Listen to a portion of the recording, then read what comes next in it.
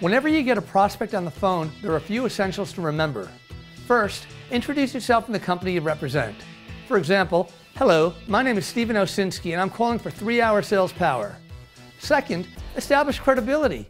Tell the prospect why you're calling. If you were referred to them, tell them now. Third, make an interest generating remark. This is where the relationship salesperson leaps across the bridge from their side to the prospect side. What I mean is that up to now, the salesperson has introduced himself and established some credibility, but it's all about him.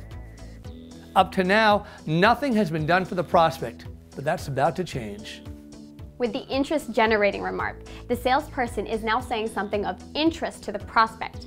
So, putting those elements together, my call to the advertising director of a wireless company may sound something like this Hello, Mr. Jones. My name is Stephen Osinski. I'm the president of the Smart Group. Mr. Jones, for the past five years, our company has partnered with Company X and Company Z within your industry, and they have been most pleased with our services. Then, the interest generating remark.